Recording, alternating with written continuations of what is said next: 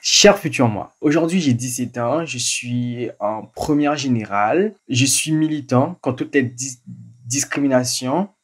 Et normalement je fais des interventions dans les écoles, euh, auprès en fait des gens dans les maisons de quartier afin de déconstruire des stéréotypes liés aux gens et à l'orientation sexuelle. Je peux te dire que ma vie aujourd'hui elle est très stressante parce que je suis une personne non binaire je suis pas dans les normes de la société hétéronormée. Je vis ma vie librement et il y a toujours en fait des moqueries. J'espère que la société est telle que je l'aurais voulu il y a dix ans.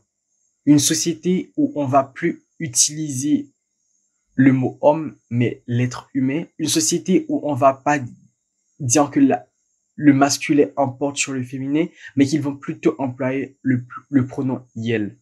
C'est une société comme ça, je rêve. Je rêve une société où si un homme fait quelque chose qu'on va pas le juger. Je veux porter des talons pour aller au travail. Je veux pas que mon orientation sexuelle, en fait, me définisse en tant que personne. Je veux être une personne à part entière comme, comme toutes les autres personnes. J'espère que la société, elle est, elle est ainsi aujourd'hui. Je sais que tu veux être à l'aise, que tu veux vraiment faire tout ce que tu as envie. Et ça, tu as le droit. Tu as vraiment le droit. J'aimerais juste te demander, est-ce que après 10 ans, la relation que tu avais avec ta famille a changé? Est-ce que tu te sens mieux, malgré ils t'ont abandonné ou autre? Est-ce que tu as pu recoller les morceaux avec eux? Parce que je sais qu'aujourd'hui, en fait, tu as ce manque-là.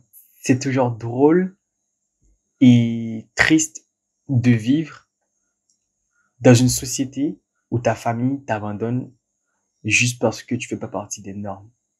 Je sais que tu vas tout faire pour recoller les morceaux. Mais est-ce que eux, ils sont prêts à entendre ce que tu as à dire? Et je sais que tu as toujours été quelqu'un qui était ouvert à tout le monde, qui ne discriminait pas, mais tu as pu rencontrer aussi beaucoup de personnes qui t'ont fait du mal. Est-ce que tu continues à traiter les gens de la même manière, malgré tous les mal qu'ils te font subir?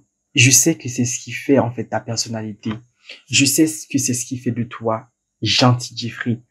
Et je sais que en fait tu as cette force en fait pour ramener les gens, pour rassembler les gens.